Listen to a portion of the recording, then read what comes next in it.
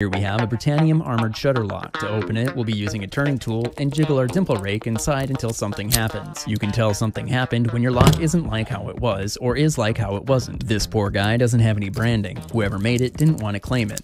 We're gonna rake it anyways. Up next, we have a...